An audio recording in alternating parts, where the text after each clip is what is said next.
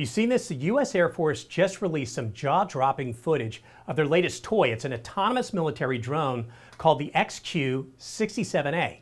I'm Kurt the Cyber Guy. Follow me at cyberguy.com where my newsletter is free.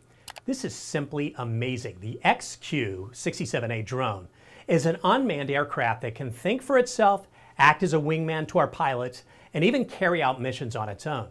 The Air Force is cooking up a whole family of these autonomous aircraft. Now, you might be wondering, What's so special about this drone? Well, it's part of a bigger plan to automate a large chunk of the Air Force fleet.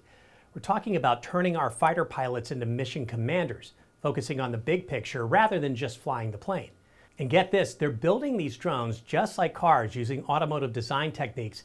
They can whip up new models in just two years. Talk about speed.